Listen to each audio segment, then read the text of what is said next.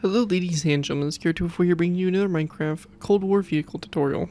In this tutorial we'll be going ahead and building the T-64A. The T-64A is a Soviet second generation main battle tank introduced in the early 1960s. It was a more advanced counterpart to the T-62. The T-64 served in tank divisions while the T-62 supported infantry and motorized rifle divisions. It introduced a number of advanced features including composite armor, a compact engine and a transmission, and a smoothbore 125mm gun equipped with an autoloader to allow the crew to be reduced to three, so the tank could be smaller and lighter. In spite of being armed and armored like a heavy tank, the T-64 only weighed 38 tons. These features made the T-34 or T-64, sorry, expensive to build, significantly more so than the previous generation of Soviet tanks. This was especially true of the Power Pack, which was time-consuming to build and cost twice as much as most conventional designs. Several proposals were made to improve the T-64 with new engines, but chief designer Alexander Morozov's political power in Moscow kept the design in production in spite of any concerns about price. This led to the T-72 being designed as an emergency design, only to be produced in case of a war, but its 40% lower price led to it entering production in spite of Morozov's objections. At present, the T-64 is in use in very few nations or regions, but is currently undergoing significant factory overhauls and modernization in Ukraine. The newest, vastly upgraded and improved model of the 50-year-old design is the T64BM Bulat, which has increased its weight to 45 tons and has seen active service in the field. So yeah, pretty interesting tank, and again, a really broad his uh, kind of service time. Uh, it's really interesting with these Soviet tanks and just how long they actually keep these guys in service. Uh, you know, with the T-64 still in service and T-72s and all that stuff. So it's just kind of crazy to see, like how you know good of a platform this tank really was to where it's still being used uh, in nations today.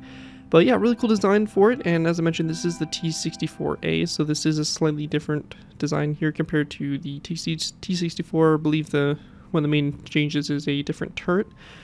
Um, but yeah, um, pretty much cool stuff um, for it. And this also has a armor package on it, which is used to fight ATGMs and stuff like that with these little fins that pop off the side of the tank uh, basically designed to cause the ATGM or missile to uh, explode uh, on those panels rather than actually hitting the tank itself. So it kind of gives the tank a little bit more protection and kind of prematurely detonates any missiles that might be coming in at it.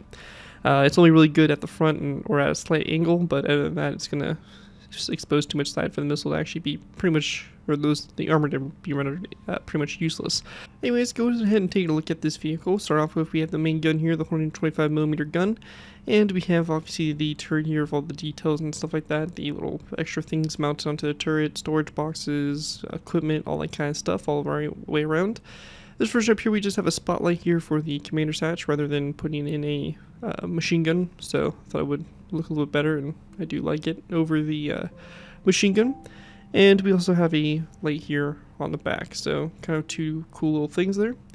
As we work way back here further, we have all the detail here over the engine deck, so pretty cool design overall, and this right here is supposed to be like that. Uh, but yeah, pretty cool designs overall for that in the back here. And the tracks here, we are working with a new design here using some banners uh, to actually kind of sprucing up our road wheels a little bit. I think it kind of adds a good little flair to the uh, wheels and kind of makes them look a little bit more uh, I guess, uh, evenly spaced out compared to using the two stairs back to back. So, pretty cool stuff. I think it's a really nice tank, and again, gonna make an awesome addition to any of your uh, modern, or I would say probably more Cold War uh, scenarios with this type of tank, the variant we have in particular. But yeah, let's go ahead and move into the tutorial by beginning with our first uh, layers, layers 0 and 1. Alright guys, so going ahead and move into our first layer here, we go ahead and start with layer 1. For layer 1 to go ahead and get started with here, we want to go and place down a row of 2 of nether brick slabs like this across, followed by a row of 2 nether brick top slabs, which are going to be coming off those two slabs, just like that. After that's done, we're going to go and take our black shulker boxes. We're going to place down a row of two of shulker boxes back to back like so. On the sides of the shulker boxes, we're going to place down an item frame with green terracotta block in the item frame. If you do have, uh, if you're on Java Edition, you can go ahead and also place a dark oak button on the side of this block as well, the shulker box here. Um, just note that if you're on Bedrock uh, versions, you're not able to do that. So if that's the case, just use the item frame. We're going to go ahead and place down two polished blackstone stairs back to back like so. Uh, two black shulker boxes on there basically facing each other like that. Same thing here again on the side. Item frame, green shulker box, and a dark oak button if we can. We're going to then place down there two polished blackstone stairs, back to back like that on both sides. Another row of two of black shulker boxes. On the side here, item frame, green terracotta block in the item frame, and a dark oak with button. And one more time, we're going to place down row two of polished black stone stairs, and there two right behind it. And we're going to go and follow this up by placing down two nether brick slabs and two nether brick top slabs like this across the back there. And this is basically what we want here for the side of our tracks. We're going to come back to this here in a little bit, adding our banners, and we'll kind of see a more finalized look for that design. After we have that done, we want to go and then go to the back here. We're going to go to this nether slab. We're going to go off of it with one, two, three dark oak with top slabs, and then we're going to place down one top slab here in the center, followed by a zombie head to both sides of the slab like so. Going to the front here, we want to go and go with our top slabs back to this row here. We're going to place down a row three across here, and we're going to place down two black shulker boxes back to back like so. Two nether slabs and two nether top slabs like so coming off right there. We then want to place down our item frame, green terracotta block, dark oak wood button, and basically the same thing we did on the air side. I'm going to go and do this a little bit faster as I've already kind of covered in detail how to do it. Um, if you need to, just refer to the air side as both sides of the tracks are completely the same. So, again, taking this back here, all the way like so. Dark oak button, item frame, green terracotta block, two polished black stone stairs, and we then want to go and place down our two nether slabs and our two nether top slabs. Now once we have the left side of the tracks done, we're going to then go to the center here and fill the center space in with our dark oak top slabs. So like this here to create the bottom here of the tank.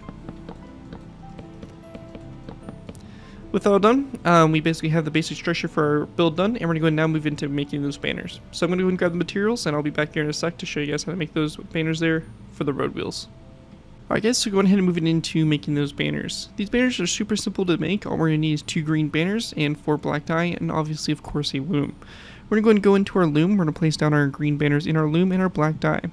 We want to go and start off by going ahead and splitting in, or splitting each one of these banners in half with this black line that goes across the center. And we're going to do this for both of our green banners. So we get two banners that look like this.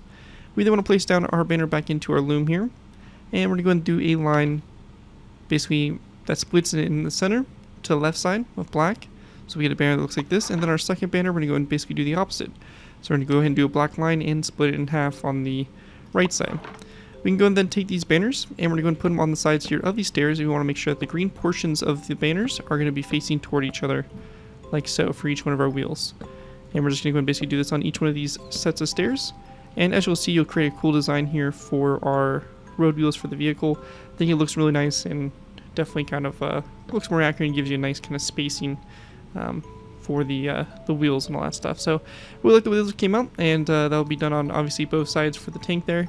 And once you have that all complete, we'll go ahead and move on to our next layer, layer number two. Alright guys, moving into our next layer, we have layer number two. For layer 2 to go ahead and get started with here, we're going to go take our nether brick walls. We're going to place down a row 2 on top of those nether brick top slabs. We then want to go and place down a dark oak wood trapdoor on the outside here of those walls like that, followed by a row of 2 dark oak wood signs like that across. And we then want to go ahead and place down uh, basically the same thing over here on this side. So same thing on this side.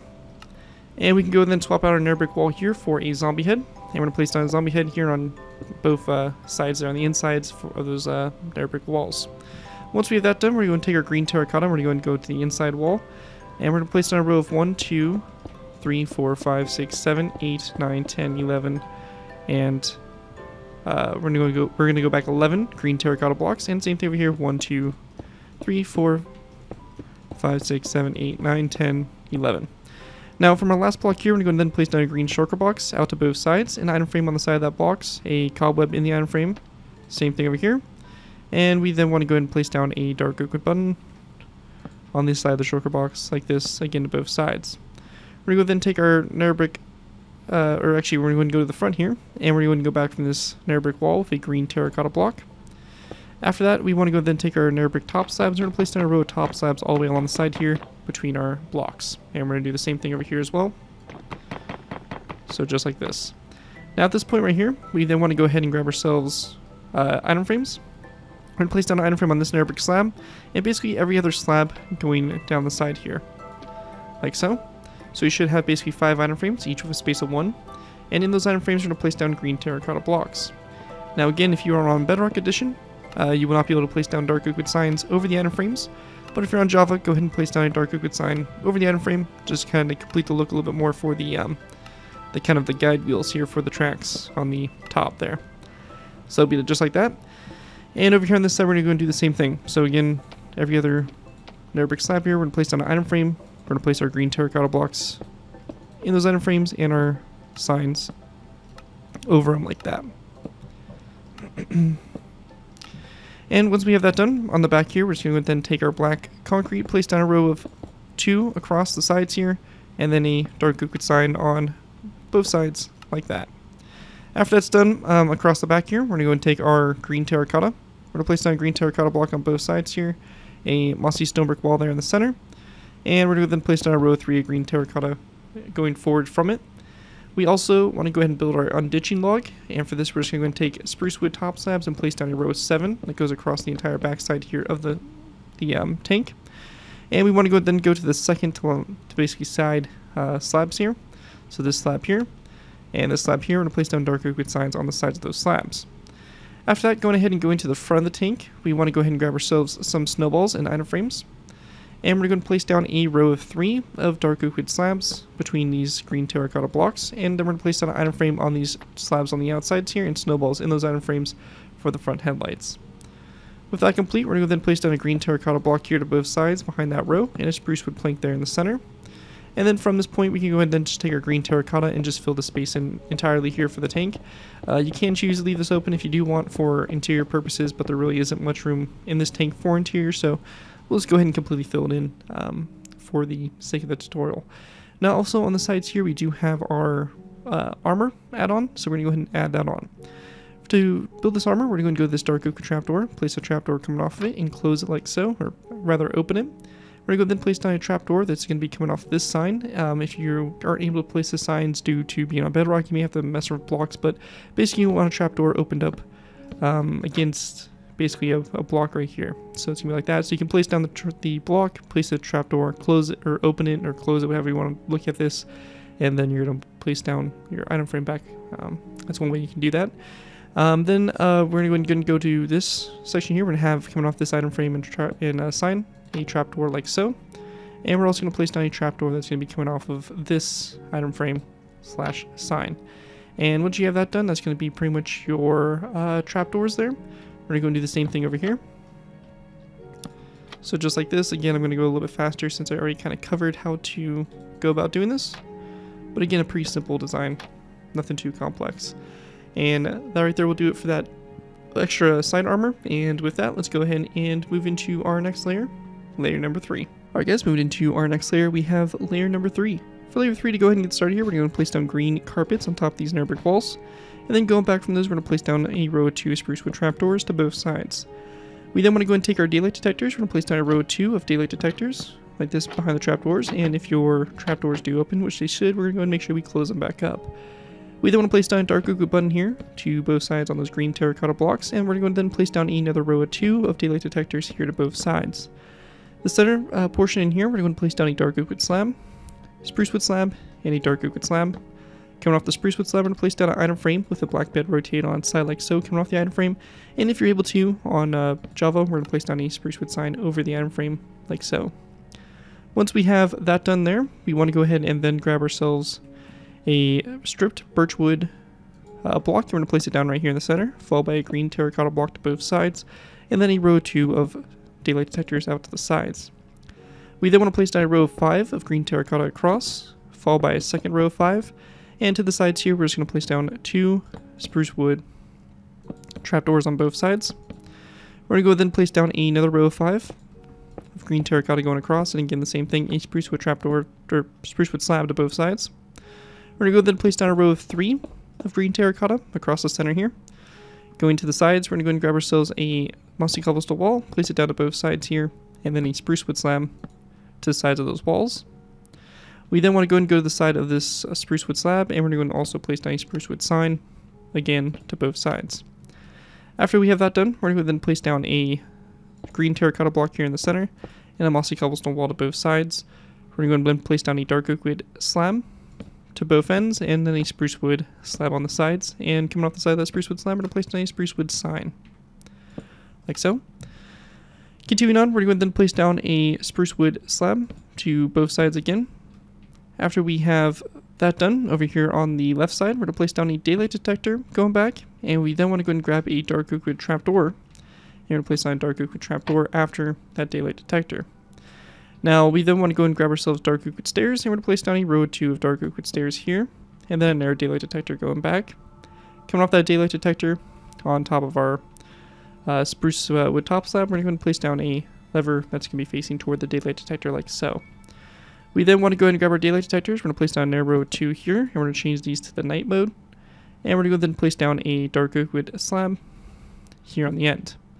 After we have that done, we're going to then grab our nether brick slabs. We're going to place down a row 2 nether brick slabs, a dark oak wood slab, row 2 nether brick slabs, dark oak wood slab like that. We're going to then place down a dark oak wood slab here. We're going to go and grab ourselves a zombie head, place a zombie head here, and an air daylight detector going back from it. Coming off this daylight detector, we're going to place down a zombie head like so. We then want to go ahead and place down another spruce wood uh, slab, going back over here on the right side.